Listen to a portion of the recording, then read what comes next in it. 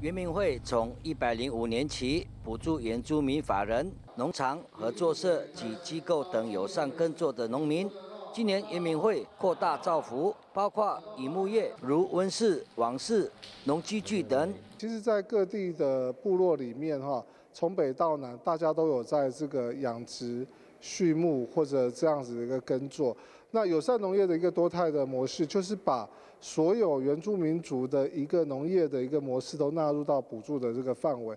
这项计划每个单位提案审核通过，最高补助一百五十万元。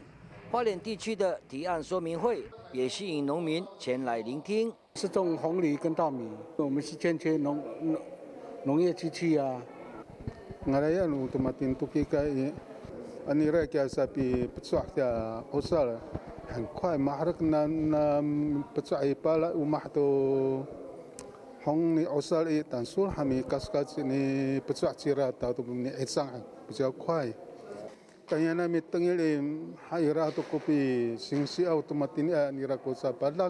针对补助对象项目包括有机或友善验证、温室、网室设施及农具、产品故事性包装设计、市场通路拓展以及行销推广服务等项目。而有意提出申请的农民，必须在明年一月十五号以前提出计划，最高补助一百五十万元。